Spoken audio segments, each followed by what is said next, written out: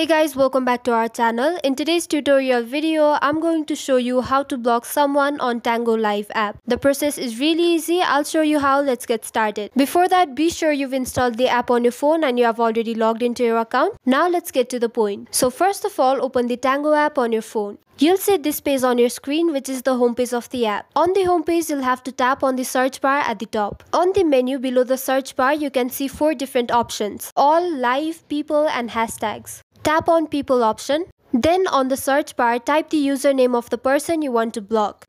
And after you see their account, tap on it and open their profile. Once you reach the user's profile page, tap on the three dots at the top right corner of the screen. And here tap on block user.